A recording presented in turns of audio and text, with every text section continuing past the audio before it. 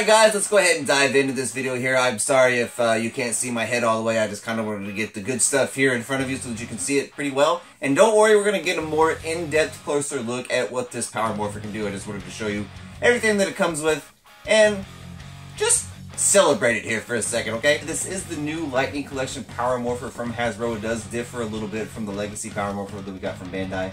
I'm going to show you guys that here in a little bit, uh, some comparisons of of the two. This is what it is. Uh, comes with this awesome freaking stand. I love it. Uh, the Legacy Power Morpher from Bandai did not have that. Um, so this is a pretty cool addition to have if you guys are wanting to collect this.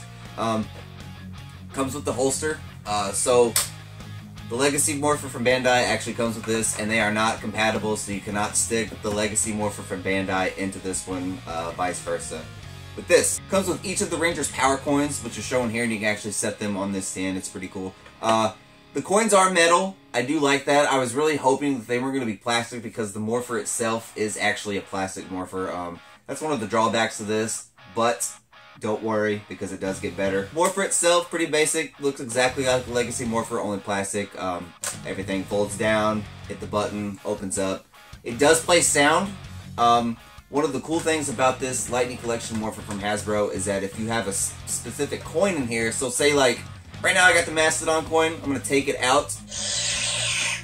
You get that cool sound. One of the things that I do like about this is the coins are metal, like I said earlier, but it's got the tabs in here. So if you guys remember on the Legacy Power Morpher from Bandai, um, the coins like did not stay in very well at all. Like I had so much trouble with mine. Like so if I was wanting to like do a freaking awesome morph, I couldn't do it because the coin would fly out. And I didn't like that. It, it didn't stick in very well the way they had that design set up. But with this, the tabs keep it in. Haven't had a problem with it. So let's go ahead and put a coin in here. Put the T-Rex coin in here. Does a little cool power-up sound. And watch this. This is freaking awesome. Ah, can't turn it off, however. So, like, if you want to do like a fan film with this, you can't turn the sound off unless you just take the batteries out. It's just gonna keep doing that. Um, take it out, just twist it, falls right out. Uh, let's go ahead and put, uh, let's put the pterodactyl coin in there. So to put the coin in, you just pretty much line it up with the tabs. It's pretty self-explanatory. And twist, lights up, hit it.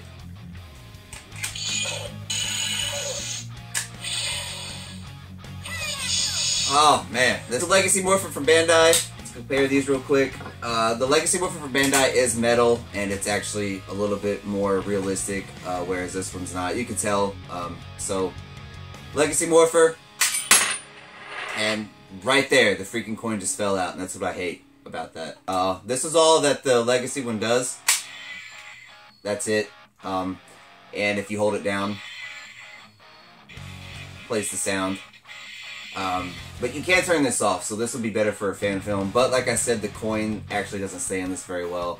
Whereas this one, it does. So it's really just up to you guys as collectors which one you want to get. I personally just want all of them. Um, I like, I have several of these Bandai Legacy Morphers, whereas this is the only one that I have. Of the Lightning Collection when I plan on getting a few more just to have, just to keep one out of the box, keep one in the box.